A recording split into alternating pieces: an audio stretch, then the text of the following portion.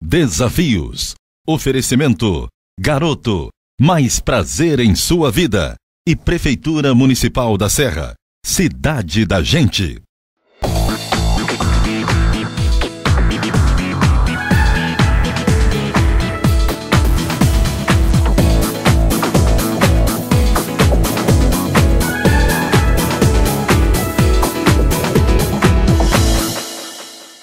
Não tinha pai perto, nem mãe. Aliás, eu vim de uma família desestruturada. Meu pai deixou minha mãe, eu tinha seis anos de idade. E logo depois o meu avô assassinou a minha avó dentro de casa. Quer dizer, um, muitas tragédias. E eu cresci, assim, longe de Deus. É, tem um versículo, acho que é Isaías, o seguinte, né? Aqueles que esperam no Senhor renovam suas forças, né? De todo lugar, perdidos virão. Voz, livres vamos cantar.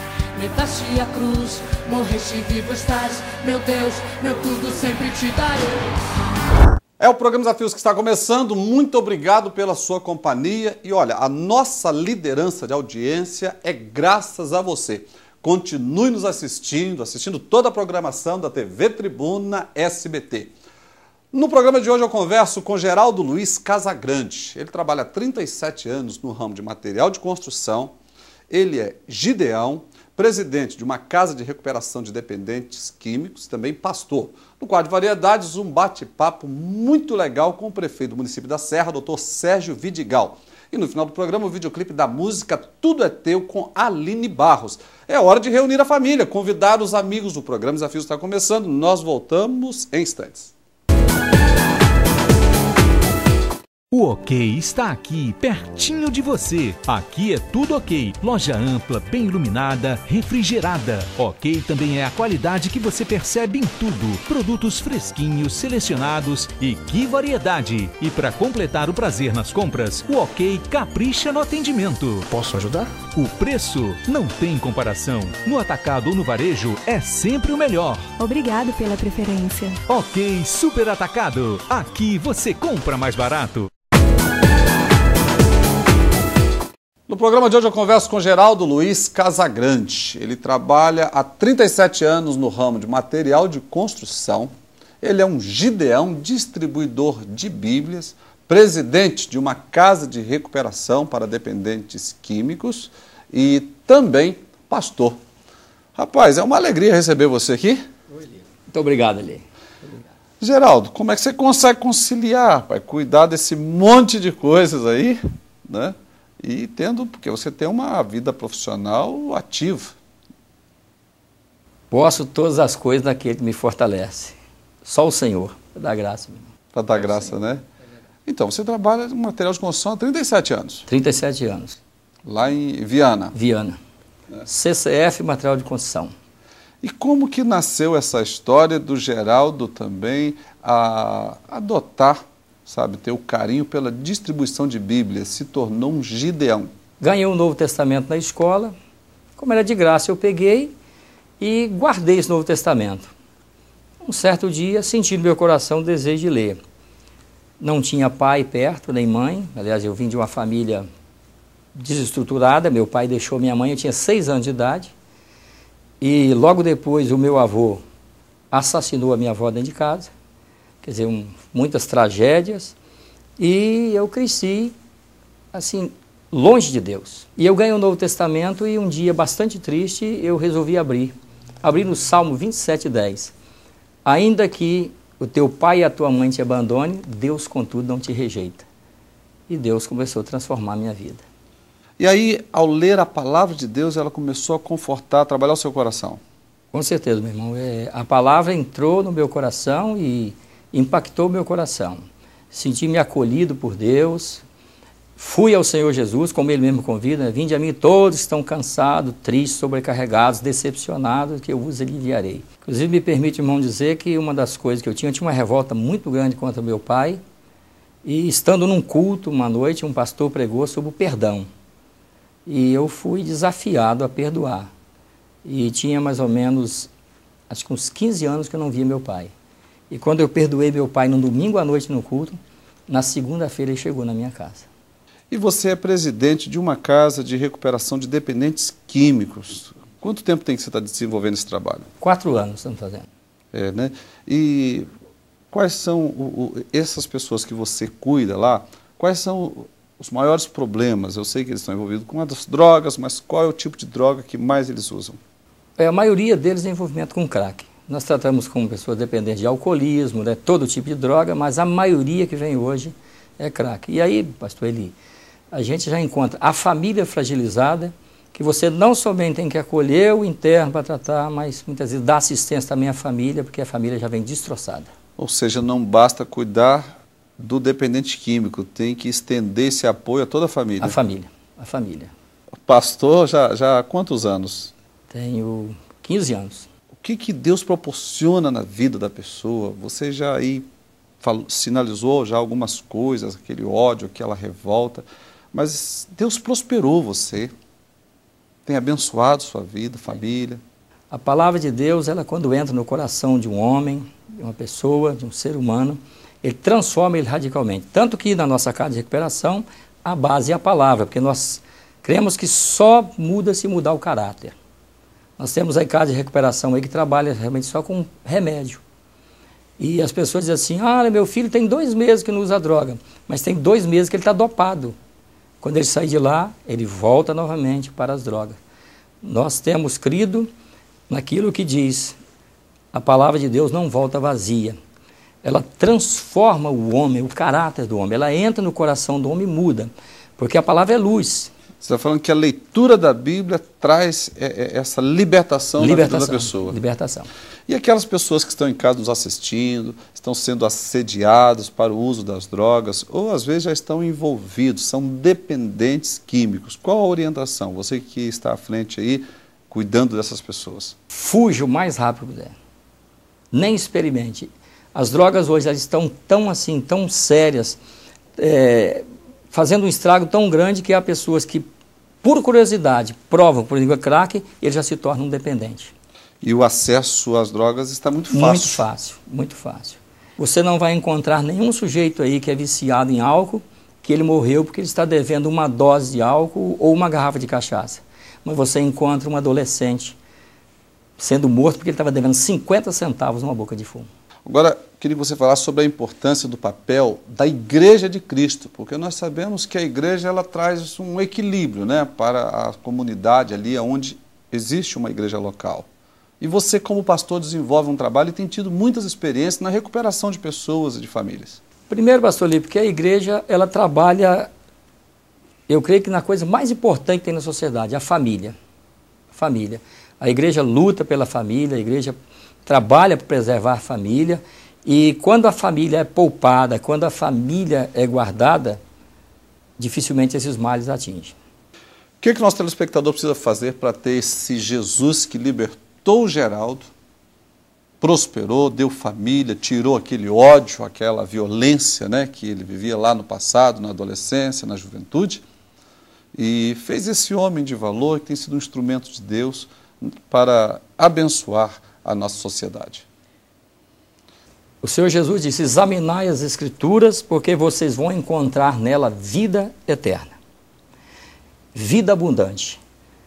Examine a Escritura, crê na palavra de Deus, abra o coração, receba, aceite e sirva o Senhor Jesus Cristo como Senhor e Salvador, e você vai ver que haverá uma mudança radical completa, porque conhecereis a verdade e a verdade vos libertará. Geraldo, quero agradecer por você ter atendido o nosso convite. Parabéns pelo brilhante trabalho que você vem desenvolvendo ali na comunidade em Viana. Deus te abençoe ricamente e as portas do programa Desafios sempre abertas para você. Muito obrigado, Eli. Tá bom? Obrigado, muito obrigado. Para você que está em casa, hoje eu conversei com Geraldo Luiz Casagrande. Há 37 anos trabalha no mercado material de construção, pastor, eh, Gideão, distribuidor de Bíblias e também à frente de uma casa de recuperação de dependentes químicos. Mas veja bem, tudo isso veio através de uma mudança lá atrás, quando ele entregou a vida para Jesus Cristo. Um homem liberto do ódio, da amargura, da angústia, que Jesus o libertou e quer fazer o mesmo por você. Eu gostaria de apresentar esse Jesus pessoalmente. Se você está próximo, em Vitória, na Ilha de Santa Maria, atrás da Citroën fica a nossa igreja, toda quinta às 19h30 ou no domingo às 19 horas. Venha, traga toda a família. Eu não estou propondo ou oferecendo alguma coisa, um mundo de facilidades para você, mas de alguém que vai ajudá-lo a carregar a sua cruz, mas ter uma vida de paz. Desafios, volta já.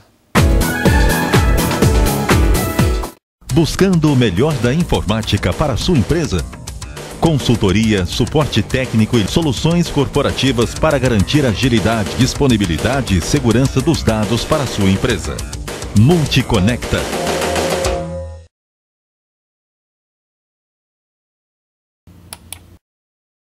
Ainda que a figueira não floresça, nem a.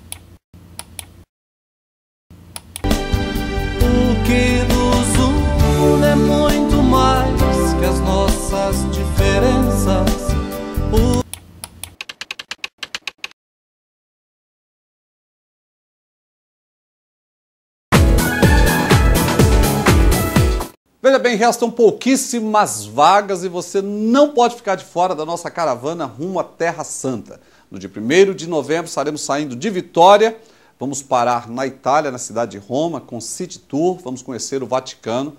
Se as condições forem favoráveis, tiver segurança, vamos para o Cairo, no Egito, se não, vamos para a Jordânia. Depois, Israel, Palestina e vamos encerrar com a Grécia. São 17 dias, maiores informações, os contatos estão no vídeo, mas corra, aproveite que o dólar está barato, condições é, facilitadoras para você, inclusive levar toda a sua família, mas restam poucas vagas.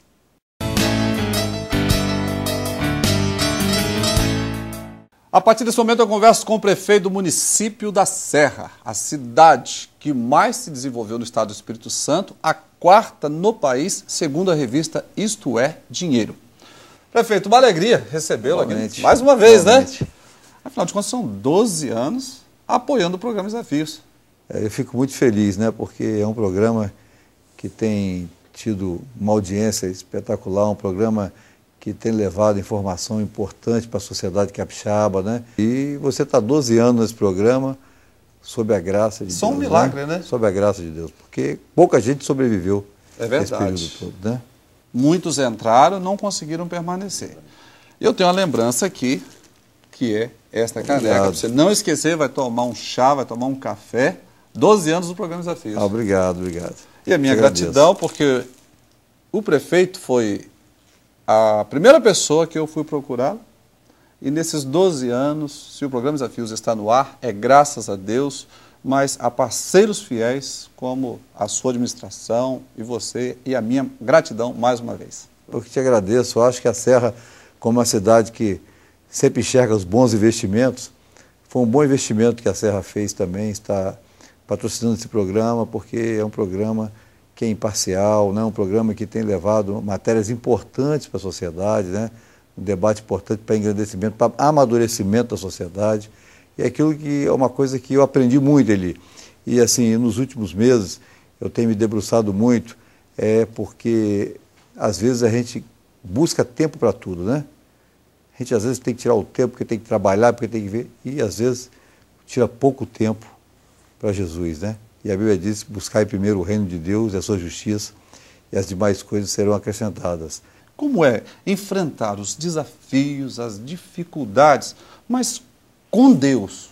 É, olha bem, você levantou realmente um ponto que tem sido um impacto grande. A Serra, eu diria que de 99 a 2000 em diante, nós vivemos bons momentos só de receita crescendo, né? E tudo dando certo, né? A receita aumentando, acima da expectativa, acima da média. E no final de 2008 teve a crise que impactou exatamente, sabe, ele, em 2009 o impacto foi muito maior do que em 2010, né? E que impactou muito a cidade, nós perdemos muita receita. Só para você ter uma ideia, nesses três anos, o que nós perdemos de ICMS é a receita de Cariacica. O que Cariacica arrecada de ICMS é o que nós perdemos em três anos. Nesse último ano, agora de 2010 para 2011, o que nós perdemos são duas receitas de ICMS da Prefeitura de Viana. E tudo isso, evidentemente, impactou muito, que a cidade crescendo, desenvolvendo, aumentando a população, aumentando a, a quantidade de serviço, nós temos aumentamos a oferta de vaga na, na, na educação, na saúde, né? É, ampliamos o investimento na política social e Deus tem permitido que agora, no, no, no início desse ano, abril, maio, nós conseguimos equilibrar definitivamente as finanças do município. É, nos adaptamos à nova realidade da Receita, mas uma coisa que nos deixa muito feliz é que não reduzimos e nem eliminamos nenhum tipo de serviço que atenda a população de renda menor. E vocês também não pararam com as obras. E estão sempre inaugurando novas obras em benefício da comunidade serrana. É, esse ano já entregamos várias escolas, vários centros de educação infantil, né, é, unidade de saúde, entregamos uma UPA, né, que é a única do Espírito Santo, totalmente informatizada, é a única do Brasil informatizada. Está sendo um sucesso, né? Ah, está sendo um sucesso porque é uma unidade que a prefeitura está é, competindo com os hospitais privados. Tem pessoas que têm plano de saúde e ficam impressionados a diferença do atendimento da UPA de Carapina com alguns planos de saúde em alguns hospitais aqui do estado. E como é que você viu essa matéria da Isto é Dinheiro apresentando a cidade da Serra como a quarta que mais se desenvolveu? Olha bem, Eli, é, tudo na vida tem que ser construído. Né? Às vezes eu fico comentando, às vezes você vê um prédio bonito e você só enxerga que o prédio é bonito depois que ele está com uma pastilha, né? você esquece que aquele prédio, para ficar daquele jeito, teve o alicerce. É, eu diria que foi com muita luta de 97 para cá que nós fizemos o alicerce da Serra. Né? Não foi fácil lá atrás. O município era desacreditado, servidores tinham cinco meses de salário atrasado, tinha aqueles servidores com salários altos da cidade que chamavam de Marajá da época, né? E, a prefeitura, e fizemos esse trabalho lá de trás, organizamos, fizemos alicerces bons, começamos a levantar as paredes e hoje já podemos comemorar, porque eu não vou dizer a você que isso é fruto de um ano. Não tem mágica, né? Não, não tem mágica, né? É, toda, tudo aquilo que você planta bem, a colheita é boa. É boa. E a cidade está colhendo fruto desse trabalho. Lógico que tem muitos desafios ainda, né? Tem muita coisa a ser superada. Nós temos lá um índice alto de violência que temos que reduzir. Né? Hoje nós temos um novo problema, ele que no passado ele, ele era bem menor, que é a questão do enfrentamento à droga.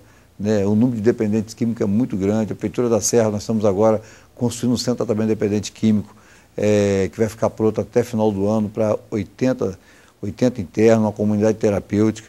Há três semanas atrás nós demos ordem de serviço para construir um centro de tratamento dependente químico de criança e adolescente. Porque nós não podemos fechar os olhos, que nós temos um número grande hoje de crianças e adolescentes também envolvido na dependência da droga, né? Agora, prefeito, você sempre, até no início da entrevista, começou a falar, faz questão de expressar sua fé em Cristo e sempre o coloca como aquele que tem te sustentado e capacitado para administrar isso. E a gente vê que a cada dia você está mais comprometido e até falou sobre a importância de colocar Deus em primeiro lugar que, que o nosso telespectador precisa fazer em casa para ter esse Deus e esse Deus capacitá-lo para vencer os desafios como você, toda a sua família, vem vencendo aí as batalhas do dia a dia? Não tem segredo, né? É só você ter fé, né? Ter fé naquele que um dia veio esse mundo, né? E foi morreu na cruz para poder pagar os nossos pecados, né? É ter fé que ele é capaz de tudo. Agora precisa ter o quê? paciência, porque é no tempo dele, não pode ser no nosso tempo. Né? É, tem um versículo, acho que é Isaías, o seguinte, né? aqueles que esperam no Senhor renovam suas forças. Né? Caminharão e não se fatigarão. É, né? e, e esperar o quê? É confiar, né? ter paciência e obediência. Né? Então, acho que esse é o segredo para que a gente possa ter o sucesso, né? principalmente com o nosso coração tranquilo, aliviado com Deus, que isso é mais importante que com os homens, né? Os homens é, é depois, né? Mas a pessoa precisa fazer uma escolha, né, Sérgio? A pessoa precisa, porque Deus, ele está de braços abertos, mas para aquele que escolhe estar do lado dele, né? Nós temos dois caminhos, isso já está confirmado, não tem mais do que dois, são dois caminhos, né? né? O caminho bom e o caminho mau. São dois caminhos, né? E tem dois comandantes, né? É como se nós temos Deus e temos Satanás. É verdade. Né? É, O homem tem livre-arbítrio, né? Você que escolhe o seu caminho, né? Você que escolhe o seu caminho. E, e lá em Apocalipse diz o seguinte: Eis que estou à porta e bato, né? Deus me invade, ele não entra na marra, você precisa deixar ele entrar, né? O contrário do outro caminho. O outro só ter brecha, que ele entra e faz estrago na sua vida, né? Então é preciso que você deixe ele entrar. Se você deixar entrar, você vai ver que ele vai fazer maravilhas na sua vida. Esse é o prefeito, doutor Sérgio Vidigal. Você está no caminho para ser pastor. Daqui a pouco eu estou entrevistando aqui o pastor Sérgio Vidigal. Está profetizando já. Está né? com a Bíblia aí escondida né, no coração. Amém. Meu prefeito, quero agradecer por você ter atendido o nosso convite. Parabéns, mais uma vez, pelo brilhante trabalho que você vem desenvolvendo no município da Serra. E não são as nossas palavras, mas os próprios veículos de comunicação registram o sucesso da sua administração. E eu sei que você dá toda a honra, toda a glória a esse Amém. Deus né, que nós Amém. servimos. Amém. Um abraço para toda a família, para a sua e os filhos. Obrigado. E o neto, hein? E o neto, né? Para você que está em casa, hoje esse bate-papo muito tranquilo, essa paz é o que? A presença de Jesus Cristo no nosso coração. Você precisa experimentar, você precisa querer. Eu gostaria de apresentar esse Jesus pessoalmente. Toda quarta, às 19h30 horas, eu estou aí na Serra Sede, atrás do posto Seu Linho, o endereço está no vídeo.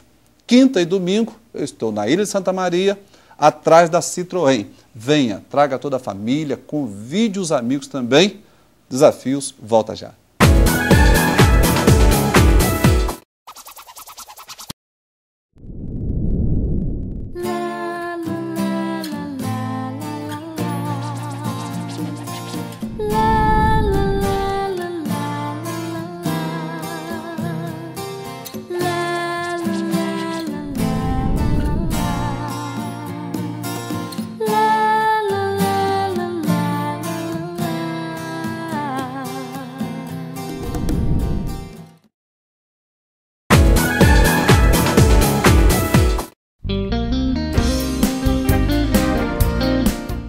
Hoje, no nosso quadro Fique de Olho, eu gostaria de trazer uma palavra de despertamento para toda a sociedade, principalmente para você que é pai. Há poucos dias saiu uma reportagem no Jornal A Tribuna a respeito de games, jogos que despertam as nossas crianças para a erotização. E nós precisamos pensar, mas não adianta pensar somente, precisamos olhar o que, que os nossos filhos estão vendo na televisão, quais são os jogos que eles estão brincando no nosso computador.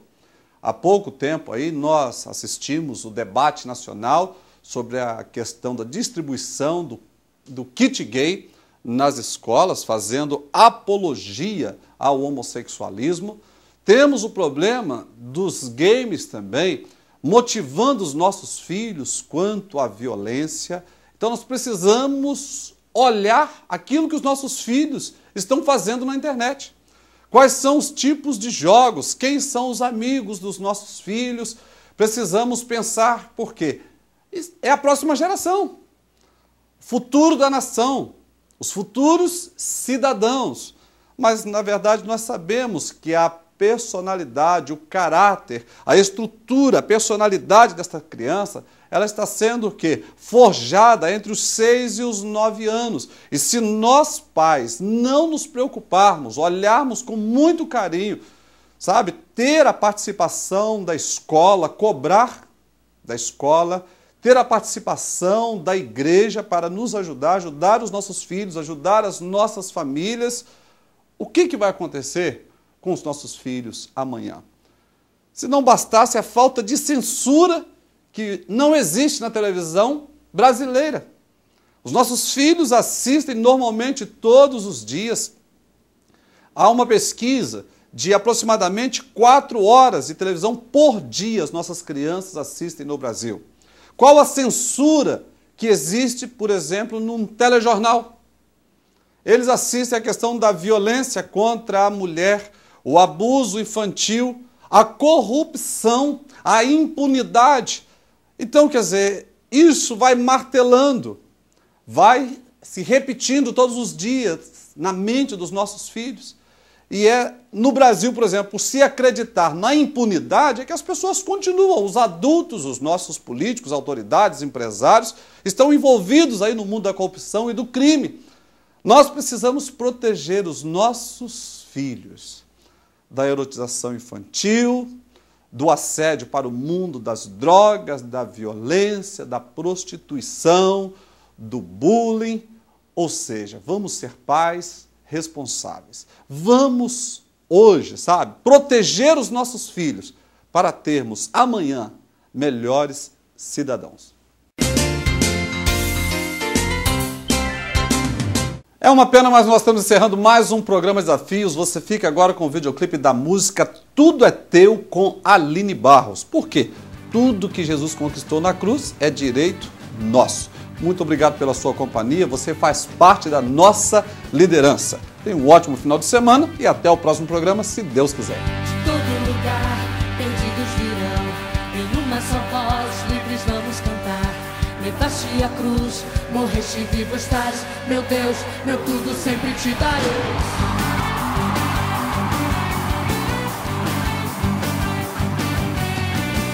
Mandaste Jesus do céu até nós, a todos livrou, sempre se ouvirá. Busquei a verdade e a ti eu encontrei, meu Deus, meu tudo sempre te darei. Jesus, por ti eu viverei,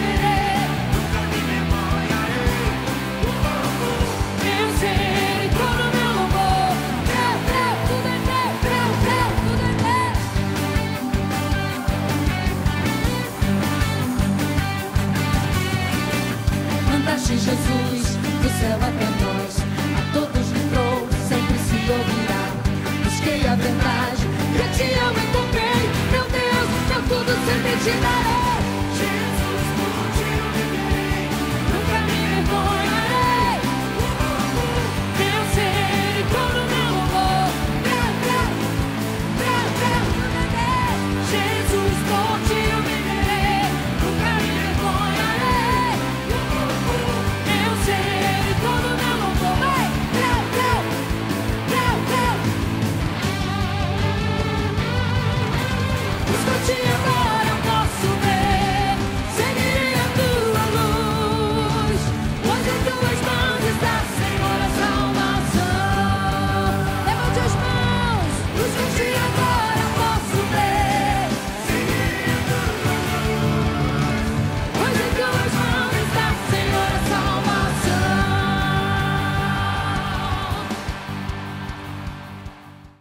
Desafios. Oferecimento.